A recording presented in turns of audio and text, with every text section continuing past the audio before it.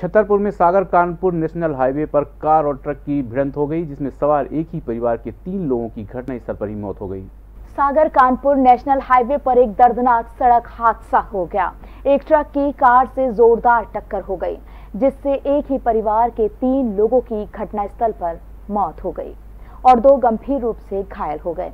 घायलों को इलाज के लिए जिला अस्पताल में भर्ती कराया गया है। बताया जा रहा है कि ये परिवार चित्रकूट से दर्शन करके लौट रहा था तभी गड़ी मलहरा थाने से महज 50 मीटर की दूरी पर जानवरों को बचाने के चक्कर में ये हादसा हुआ है Rabindranath Tagore University, formerly known as ISECT University, the pioneers in skill development with focus on creating industry-ready professionals.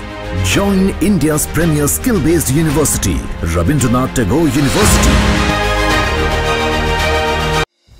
संगीत की स्वर लहरियों से सांस्कृतिक ताने बाने तक चंबल के पीड़ों से नक्सलवादियों के गढ़ तक झोपड़ी से महलों तक ठेलों से मेलों तक पगडंडियों से सड़कों तक गाँव से शहरों तक व्यापार से उद्योगों तक। राजनीति से कूटनीति तक। दखन न्यूज़।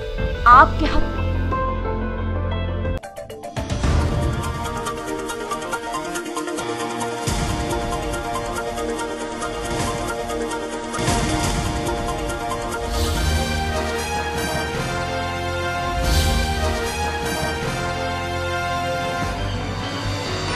आप देख रहे हैं दखल न्यूज़।